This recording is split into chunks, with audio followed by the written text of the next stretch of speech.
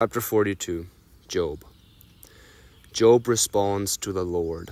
Then Job replied to the Lord, I know that you can do anything, and no one can stop you. You asked, Who is this that question my wisdom with such ignorance? It is, and I was talking. It is I, and I was talking about things I knew nothing about, things far too wonderful for me. You said, Listen, and I will speak. I have some questions for you, and you must answer them.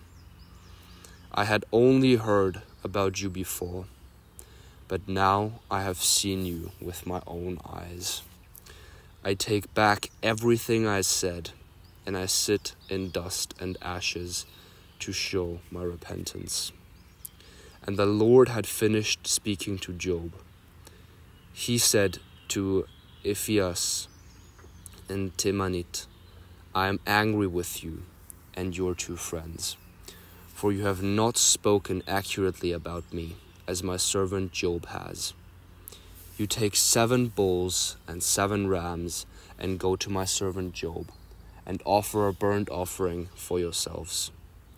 My servant Job will pray for you, and I will accept his prayer on your behalf.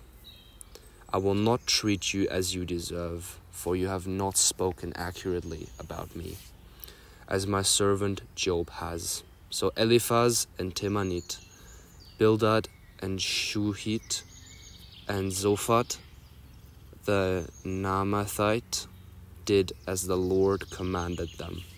And the Lord accepted Job's prayer. When Job prayed for his friends, the Lord restored his fortunes.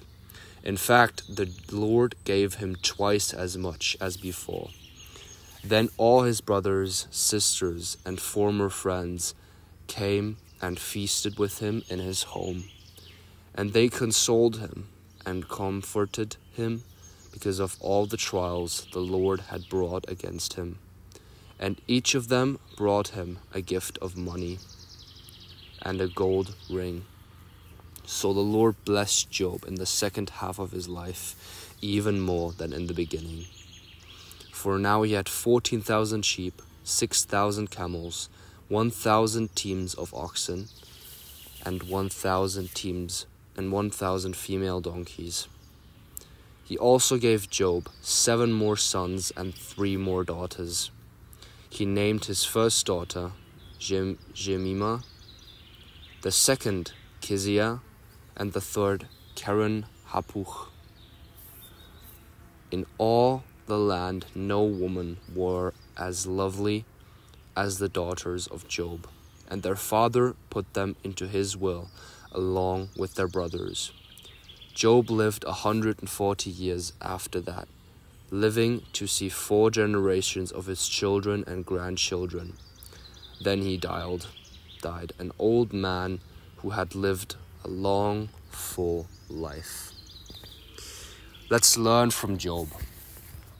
If you don't know the book of Job, Job was a man who, in the beginning of his life, was very blessed by the Lord. His house was fruitful, he had thousands of animals. He was the biggest and richest man in Israel. And then Satan came to the Lord and said, basically, he is only believing in you because, well, you're blessing him. So if you take your blessing away, you will see how he really is. And then Job goes through trials of tribulations and through many, many days and months of being of, of his sons being killed, his daughters being killed, his animals being killed, his house being destroyed, himself becoming sick, and then his friends Eliphaz and Timnah come to him and talk to him. And they first don't say anything, and then they talk him down. They say it must be your fault that God acted like this on you. But Job stayed faithful. Job stayed faithful. until a certain point, and then he said, Oh, yeah, how can the Lord do this upon me? I've never done anything wrong in my life, and then his friends speak in terms of the Lord, but in terms in the wrong way of the Lord, as we just heard in the book of Job. Now, let's all see what Job did. Job still lived through that. Job could have killed himself, but he didn't. He still lived through that, and the Lord multiplied his blessings. And this is the same thing we do when we have discipline. The Lord blesses us, and then He tests us with a difficult trial, with a difficult set in the gym, with a difficult day in our lives, and we have to choose how to react to that.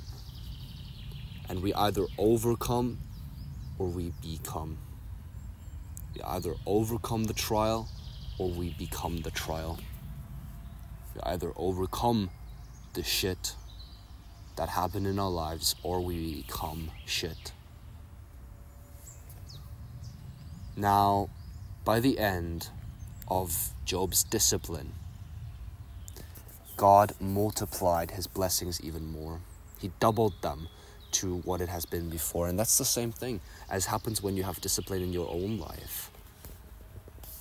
You go into a set of bench press and you rob yourself off of the blessing you had, which is comfort. You rob yourself of this fundamental blessing of being pain free.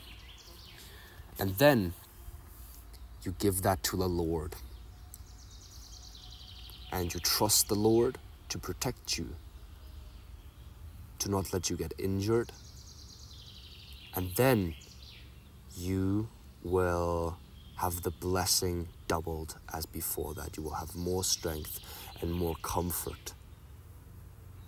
Because the Lord takes something and makes it better just by it being with Him.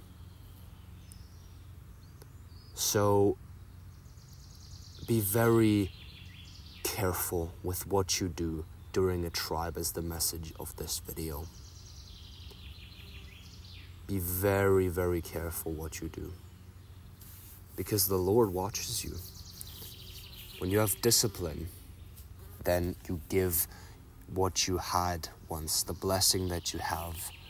You either give it to the Lord or the Lord takes it away from you to test you.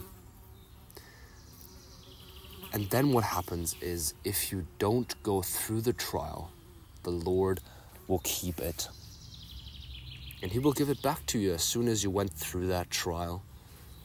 And when you go through that trial, when you finally do the hard set, when you finally go to the gym, when you finally started your journey, when you finally worked on your purpose, then He will give it back to you twofold, threefold, tenfold. So be careful what you do in trials and tribulations. Master your mind.